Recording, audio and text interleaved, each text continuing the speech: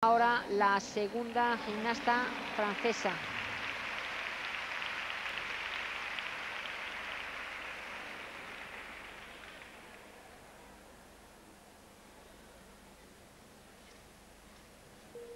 Ella terminó quinta, es la mejor clasificada, la que tiene más opciones de pasar mañana a la final.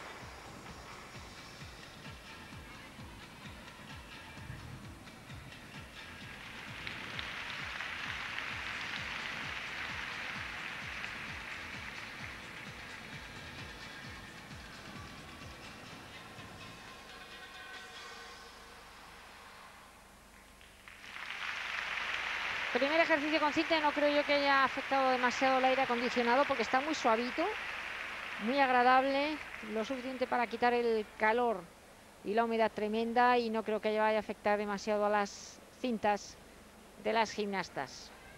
El pabellón con mucha más afluencia que esta mañana, este mini pabellón en donde han acogido la gimnasia rítmica, pero estoy segura de que si hubieran dejado la gimnasia en el pabellón mediterráneo también se hubiera llenado porque ya ha dado muestras el público español de lo que le gusta a la gimnasia rítmica, llenando pabellones como el de Alicante en el año 93, el de Sevilla en el 98, el de Zaragoza en el, 90 en el 2000, el de Granada en el 2002,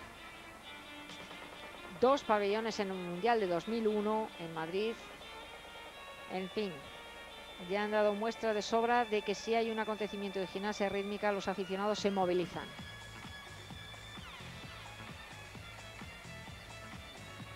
Esta es la gimnasta que tiene más posibilidades de estar entre las finalistas y además con buena puntuación porque terminó quinta detrás de Jennifer Colino. Hoy más que nada sirve esta competición para clasificarse y sobre todo también para ver el estado de forma y el nivel que presentan las gimnastas rivales y saber contra quién se está compitiendo.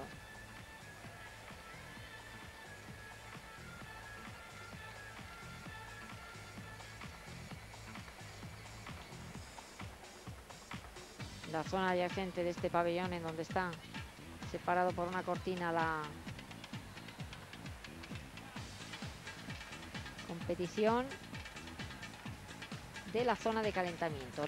5.85, 6.45 y 7.30 la ejecución. 13.450 y tienen, no ha sido la nota mejor, ha sido la